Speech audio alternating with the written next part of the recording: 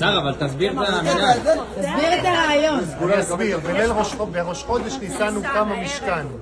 הוקם המשכן בראש חודש ניסן. בליל ראש חודש ניסן ה- הג'רבאים, התוניסאים, הטריפולטאים נוהגים לעשות את הטקס הזה שנקרא בשישה או בסיסה, שהוא כאילו היסודות, הקמת המשכן, ואומרים שמתפללים לקדוש ברוך הוא שישמור עלינו בשנה הזאת.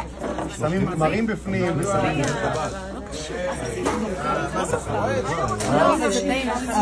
דגנים, זה דגנים. זה דגנים.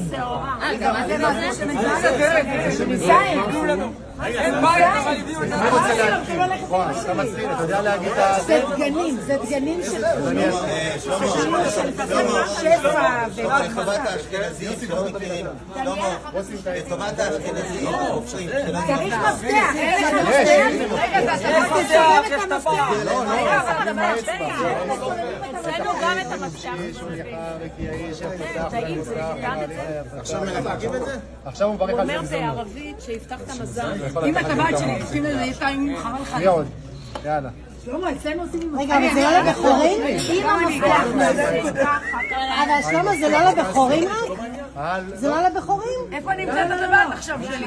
שיהיה לנו הרבה הצעות חוק. איזה ריגוש. שיהיה לנו חד אמיתית. אני נהיית שלי. חכי, חכי, לא, שאני הרבה מיטה. כן, את יכולה.